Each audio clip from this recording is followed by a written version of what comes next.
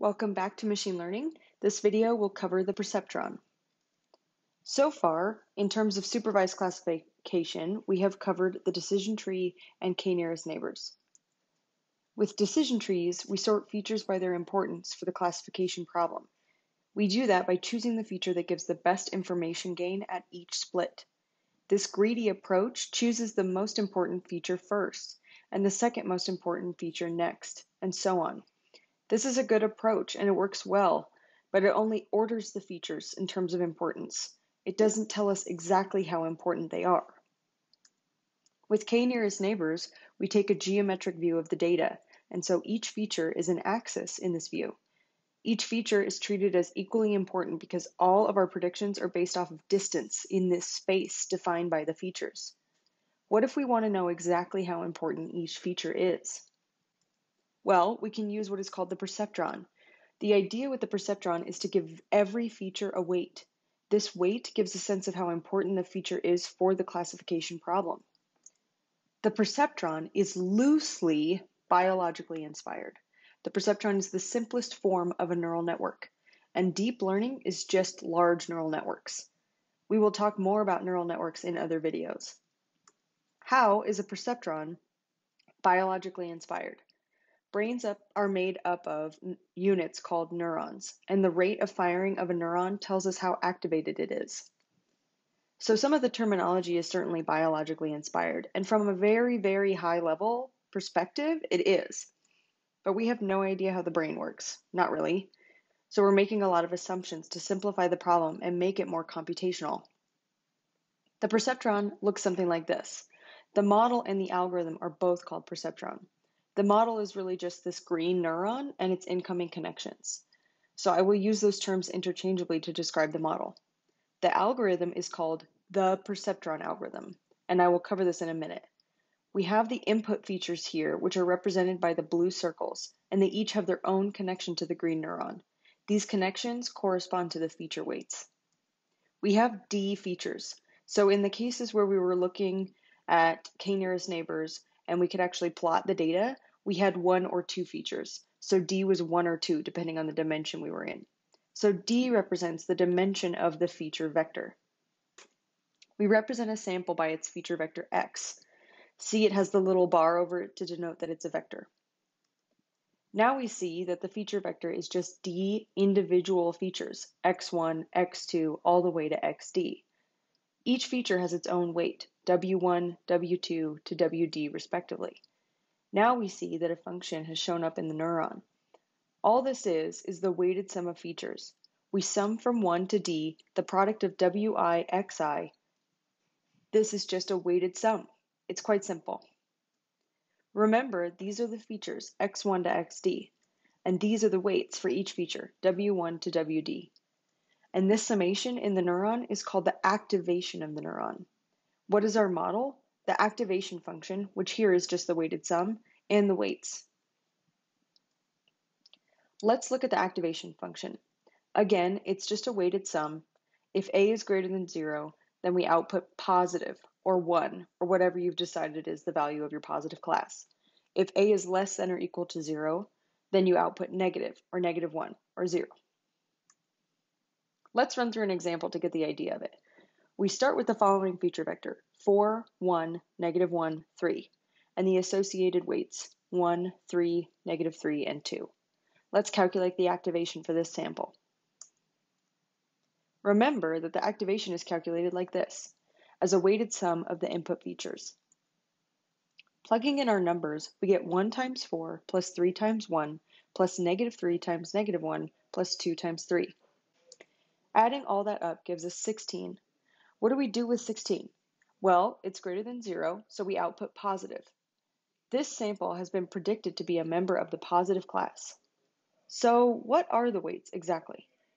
Let's look at an example we're familiar with, specifically the sunny greater than 90 degrees example from when we first learned about decision trees. We have two features here and a label. These two features become x1 and x2. If we set W1 equal to zero and then calculate the activation, we get that the activation relies entirely on the value of x2. So if W1 equals zero, then we're saying don't pay any attention to whether or not it's sunny outside. make your prediction solely based on whether or not it's greater than 90 degrees. So we're effectively ignoring our first feature. What happens if we set W1 equal to 10,000? We calculate the activation and we see that X1 will dominate the equation. So we're effectively saying, give a significant amount of attention to the feature sunny when making your decision about whether or not to go outside. What happens if we set W1 equal to negative 10,000? Then we're saying that it's very important that it is not sunny because otherwise we will not go outside. So these weights have an intuitive meaning. When they're large and positive, that feature is important for a positive prediction. When they're large and negative, the feature is important for a negative prediction. And when they're close to zero, that feature is not very important.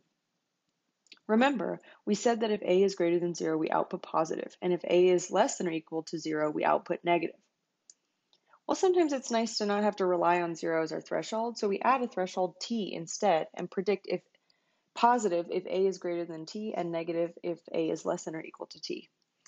But mathematically, it's nice to have our activation function set equal to 0 so we can have the same threshold effect by adding a so-called bias term so now we're still only interested in zero as our threshold, and we have a new additive term, b. Here is our perceptron. This is what it looks like with our new bias term, b. This is our model. What are the parameters of this model? The weights. Remember that the parameters of a model are those that are learned as a part of model training. We will use the training data to determine these weights and also the bias. How do we learn the weights? We use error-driven learning. Think about this like when you study for an exam. If you're taking a history class or something where there's a lot of terms to memorize, you might make flashcards. You review all the flashcards once, and then when you go through the second time, you'll start to get some right. If you get them right, you might put them in a separate pile that you don't review again. So you're constantly reviewing the ones you're getting wrong and ignoring the ones you got right. That's exactly how the perceptron algorithm works. You only update when you make a mistake. Otherwise, you'll just continue on your merry way. This is also called an online algorithm. It's just a term that's used to describe an algorithm that looks at one sample at a time. Here's the algorithm. I'm going to go through this in English first, step by step, so we get it. The algorithm is taken directly from the textbook for class. First, we initialize the weights and bias to zero, so we just set everything equal to zero. For some number of epochs or until convergence, there are two things here, epochs and convergence. One iteration of an algorithm is one sample. So think of it as reviewing one note card. You've reviewed one note card and you've completed one iteration of studying. But what really matters is how many times you go through all the note cards or all the samples. That is what's called an epoch. So each time you run through the entire set of samples, you've completed one epoch. Some people call it epic. I say epoch. It's really up to you. Now, convergence. The perceptron algorithm is guaranteed to get 100% on the training data, so long as the data is linearly separable. That means if we can draw a line between the positive points, or a plane or a hyperplane, then the data is linearly separable. If there is even just one pesky point that you can't completely separate, then it's not linearly separable. But if it is, then the perceptron is guaranteed to get all the training data right. And once that happens, the algorithm has converged. We take a training sample, x, y. We compute the activation for that sample. We check if the label times the activation is less than or equal to zero. If it is, we update the weights. Why is this? Well, if our label is negative and our activation is positive, that means the perceptron predicted incorrectly, so we should update. Multiplying them together simply tells us whether or not the label and activation are different signs. We update the weights using these two equations w equals w plus y times x, and b equals b plus y. Why do we update the weights and bias in this way?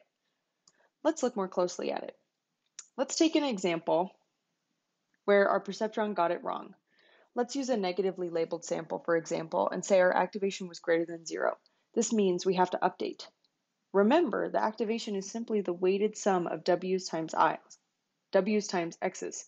This is the same as the dot product between w and x, plus the bias. Let's assume we're working on one dimension for now to make it easier to interpret. So we have just one feature per sample, x1. So we update w1 with w1 plus negative 1 times x1, and b with b minus 1. Now let's calculate our new activation to see if this update got us closer to making a correct prediction for this sample.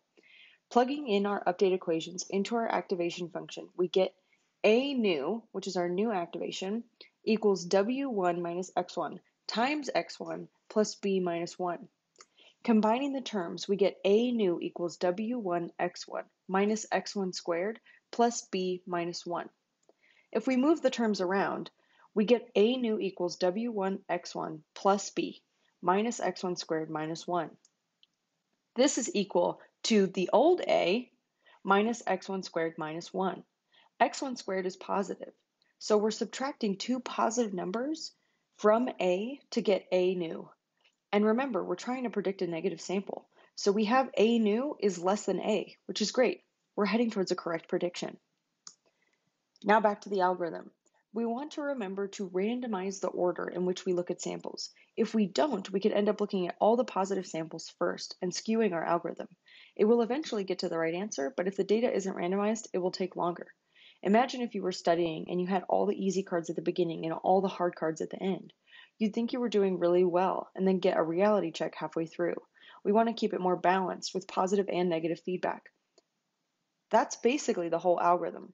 Once it converges, we just return the weights and bias. Let's run through an example. We have 10 samples, 5 positive, green plus signs, and 5 negative, red dots. I have numbered the samples randomly, so we will go through this order to train our perceptron. We start with our weights and bias set to 0. Let's start epoch 1 with sample 1, which is at 3, 3. This is labeled as negative. We calculate the activation. With weights and bias of zero, we always get an activation of zero on the first sample. I'm using subscripts on my activations just so that we can keep track of what sample we're calculating the activation for. This is not at all required. Remember that we need to multiply the activation times the label, and doing that gives us zero. Zero is less than or equal to zero, so we need to update. Remember our update equations. I've put them at the top left corner of the slide so you have them handy. We recalculate W1, W2, and B using these equations and the label and feature values for sample 1. Our W1 is now negative 3, our W2 is now negative 3, and our B is negative 1. Now we move on to sample 2, which is negative 2, 3, and it has a positive label. We calculate the activation and we get 14. Multiplying 14 with the label 1 gives us 14, which is greater than 0, so we don't need to update. On to sample 3 at 2, negative 1 with a negative label. We calculate our activation again and we get negative 4. Negative 4 times 1 is greater than 0, so we don't have to update. Sample 4 now. We have a feature vector of 2, 2 and a label of negative 1. Calculating the activation for sample 4 gives us negative 13. Negative 13 times a label of negative 1 gives us 13, which is greater than 0, so we don't have to update. Sample 5 has a feature vector of negative 3, negative 1, and a label of 1. Calculating the activation for sample 5 gives us 11. 11 times the label of 1 gives us 11, which is greater than 0. Again, we don't have to update. On sample 6, which is at negative 3, 1, and has a label of positive 1. Calculating the activation for this sample gives us 5. 5 times a label of 1 gives us 5, which is greater than 0. No update. Sample 7 at 1, 1 has a negative label. We calculate the activation, which gives us negative 7. With a label of negative 1, the activation times the label is greater than 0, so we don't have to update. Sample 8 has a feature vector of negative 2, negative 1, and a label of positive 1. Calculating the activation gives 8. 8 times the label of 1 gives 1, gives 8, which is greater than 0. So again, we don't update. On to sample 9 at 3, 1. The activation for sample 9 is negative 13. Times the label of negative 1 gives 13, which is greater than 0. No update. On to our final sample in our first epoch, 10 at negative 1, negative 1, with a positive label. The activation for sample 10 is 5. 5 times the label of positive 1 gives 5, which is greater than 0, so we don't update. We have completed our first epoch because we have reviewed every sample. On to our second epoch. The algorithm has converged once we have completed a full epoch without updating the weights and bias. Back to sample 1. Calculating the activation for sample 1 gives us negative 19. Negative 19 times a label of negative 1 gives 19, which is greater than 0, so we don't have to update. Samples 2 through 10 have already been tested with these weights, so that's a full epoch of no updates. So the algorithm converges with these weights and bias. The perceptron gives a linear decision boundary, whether that's a line, a plane, or a hyperplane. A hyperplane is just a plane in a dimension greater than 3. What is the decision boundary? It's just the set of points where the prediction goes from positive to negative or vice versa. In two dimensions, if we have a linear decision boundary, then we can visualize it as a line that separates the two classes.